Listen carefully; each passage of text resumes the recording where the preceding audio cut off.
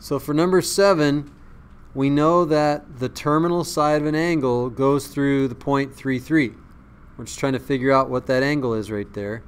And if we make a right triangle, we know that if the coordinates of that point right there are 3, 3, it means we go to the right 3 and we go up 3. So really what we're trying to figure out is what's that angle?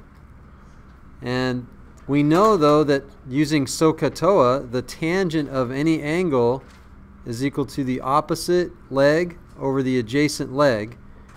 And the opposite leg is 3 and the adjacent leg is 3. So the tangent of the angle is equal to 1.